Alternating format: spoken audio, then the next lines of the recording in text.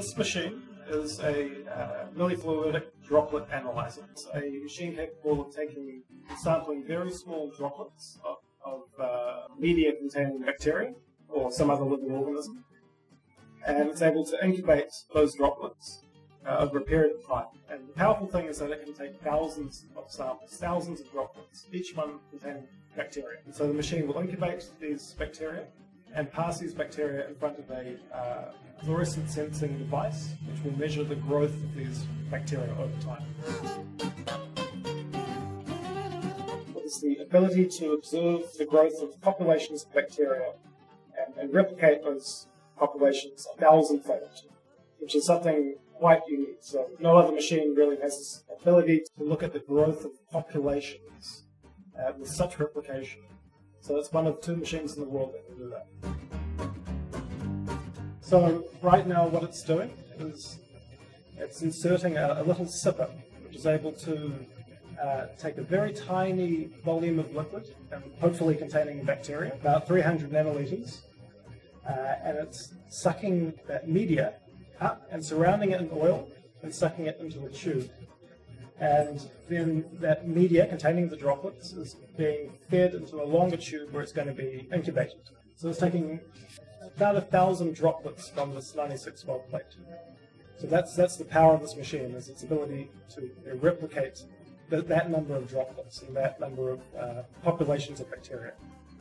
So this machine can can can get thousands of droplets, and the beauty of it is that we can also ask for each one of those droplets to contain one or two types of bacteria. And then what we can see is the interaction of one type of bacteria with another type of bacteria. Now, one bacteria can influence the growth of another type. And then we can get measures of, of fitness, of the relative growth of one type of bacteria versus the other. And because this can replicate, replicate that, that measure of growth so well, we can get extremely accurate measures of fitness. So the relative ability of one type of bacteria to grow relative to another.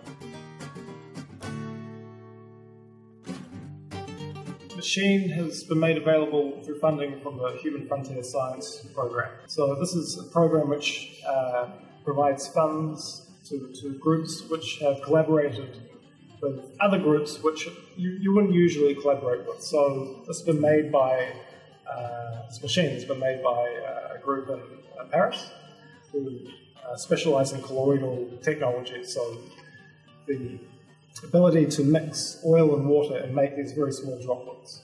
So it's kind of like if you have a vinaigrette, so if you have oil and water and you shake it, you get these little bubbles. Well, that's what this technology is making. But that's not the expertise that we have. So we have expertise in uh, ecology and evolution of bacteria. So we want to use this technology to look at the growth of bacteria and in particular the ecological interactions and the evolutionary implications of those interactions. So the maximum capacity for each one of these droplets is about 100,000 cells. So the good thing with the machine is that we can actually identify droplets that have a particular growth characteristic.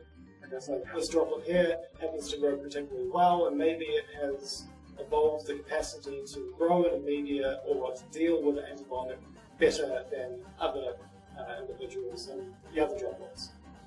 And the great thing of this machine is that we can then identify these droplets and we will eventually have the capacity to isolate this droplet and then seed future uh, trains of droplets starting from this particular uh, bacterial genotype.